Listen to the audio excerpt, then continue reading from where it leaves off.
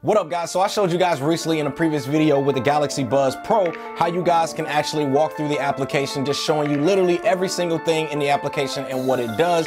And so you guys asked me in that video, hey, can you do one with the Galaxy Buds Live? So I said, you know what? Why not? So that is what we're gonna do in this video. So let's go ahead and hop right into it. All right, so right out of the gate, the very first thing you guys are gonna see when you have your Galaxy Buds Lives open, you're gonna just see this prompt here that's gonna allow you guys to be able to connect it up. So all you guys gotta do is just press on connect and just like that is going to connect your Buds Live to your Galaxy device. So once we do that, the next thing you guys are gonna see is, is gonna see that it's actually connected up. Now, the next thing we're gonna wanna do is we're gonna go into the actual Samsung wearable app, and then here is gonna go ahead and connect them up, or we may have to go in and actually add a new device. So I'm gonna go ahead and tap on add a new device, and we're gonna go ahead and select Buds Live. Go ahead and tap on that.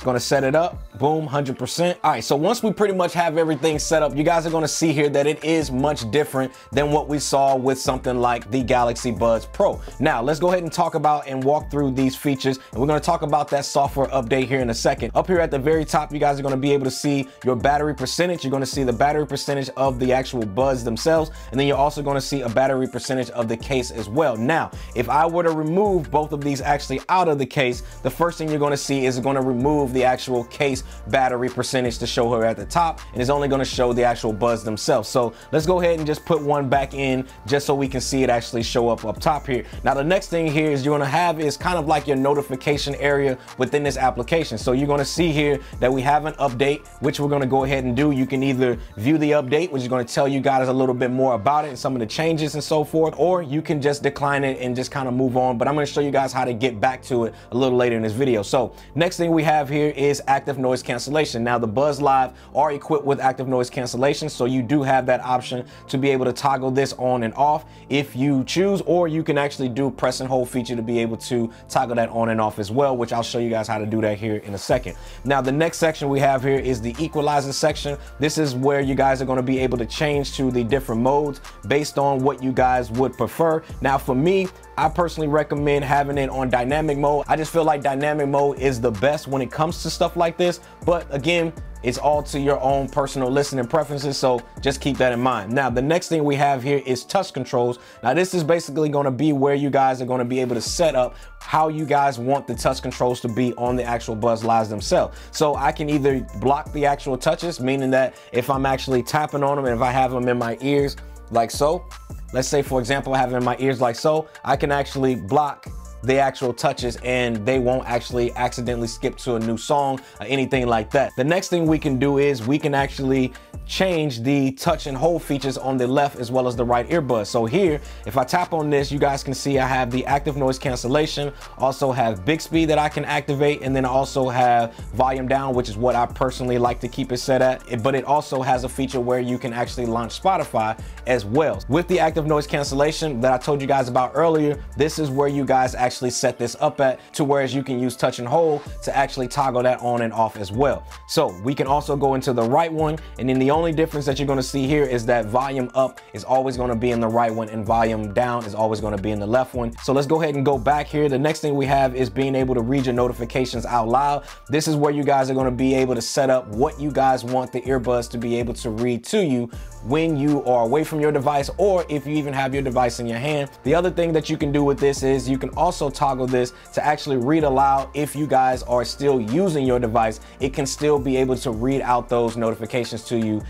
even though you guys have your device in hand. Next thing we have is advanced section. Now this is gonna be a section where you guys can use, if you have, if you like Bixby, you can actually turn this on and then it's basically going to allow you guys to use the wake up word, hey Bixby, and then it's gonna activate on your device. Very similar to what we see with Apple with Hey Siri. The next thing we have is the seamless earbud connection. Now this is gonna be where you guys gonna definitely wanna turn this on because it's gonna allow you guys to seamlessly connect your earbuds to your devices well as the Galaxy tablet or if it's your Galaxy devices, it's gonna easily be able to seamlessly connect between those devices. So I highly recommend you guys keep this turned on. Now, the next thing we have is labs. Now, this is where it's gonna be more so with the gaming mode. And there's also a new mode with this that we didn't see with something like the Galaxy Buds Pro is a relieve pressure with ambient sound. So let's go ahead and start with the gaming mode. Now with the gaming mode, if we turn this on, which I highly recommend you guys keep this on, it's going to allow you guys to have low latency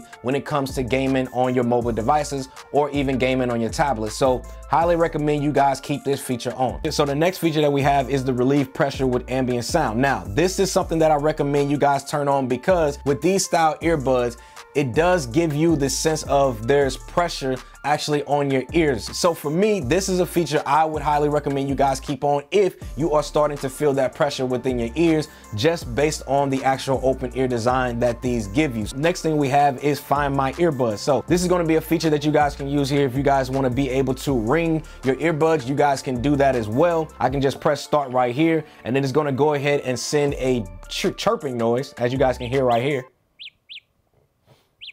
Now, the next thing we have is general. This is gonna allow you guys to be able to reset your earbuds back to factory settings. The next thing we have here is the earbud software update. Now, I talked about this earlier in the video as we saw this up here at the top as well. So if I was to click on view update from here, it's gonna take me right to it.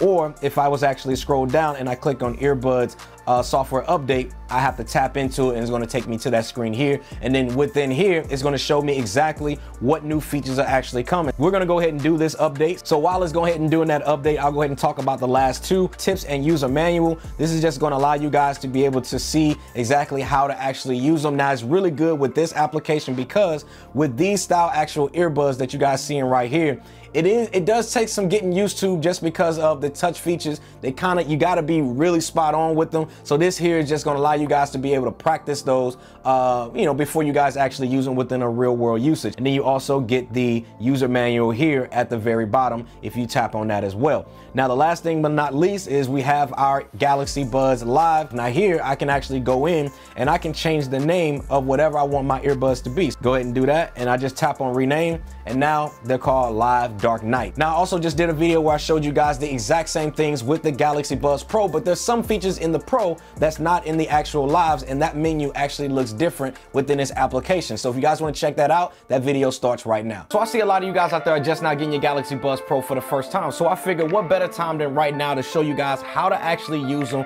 walking you guys through the application, as well as showing you guys a little bit of tips and tricks along the way. So without further ado, let's go ahead and hop right into it. So first thing right out of the gate you guys are going to want to do is you got your Galaxy device, right? So you want to go ahead and just open up the case. And what you're to see is a prompt that's to show right up here on your screen. Now, of course, I've already got mine connected. You just click connect and you're to be good to go. So I'm to go ahead and put these into my ears like so.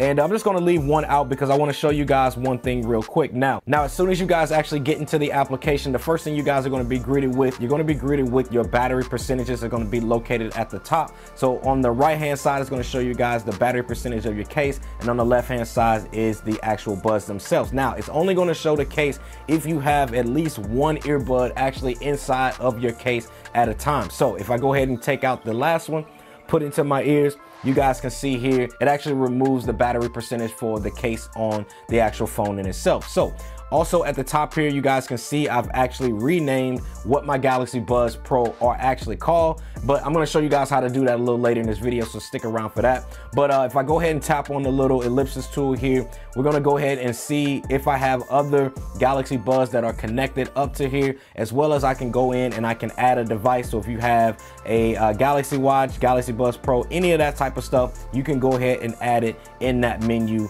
right here on the left hand side. Now let's go ahead and move on down here to the kind of midsection here that we have. We have noise control. So this is where you guys are going to be able to toggle your active noise cancellation as well as to be going into off mode, which is going to be more of like a passive noise cancellation. And then you also have ambient mode. So let's go ahead and start with active noise cancellation since that is kind of one of the newer features that we're seeing on the Galaxy Buds Pro in itself. So right out of the gate here, we see we have a high as well as a low mode. So here you guys are going to be able to switch and toggle between a high or a low. Now for me, I personally recommend if you guys are using ANC, it's like if they give you a high mode, then why not actually use the high mode?